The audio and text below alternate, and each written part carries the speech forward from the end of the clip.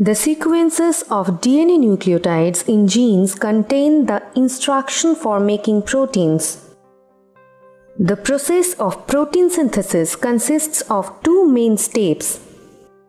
First, the DNA is transcribed into messenger RNA. This step is called transcription. Next, the messenger RNA leaves the nucleus and attaches to the ribosome where the RNA is translated into a polypeptide. During transcription, only the DNA strand in the 3' to 5' direction is copied into RNA. This strand is called the template strand.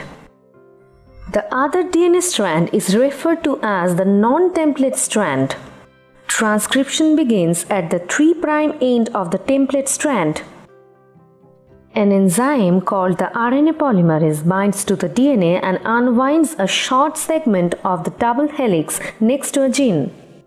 The RNA polymerase synthesizes an RNA strand by selecting the precursor nucleotide that can form a complementary base pair with the nucleotide on the template strand.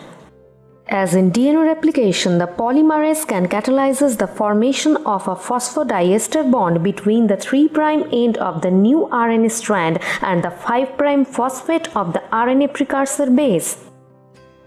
The formation of the bond results in the release of two phosphates from the precursor. This process is repeated as the RNA polymerase moves along the template in the 3' to 5' direction.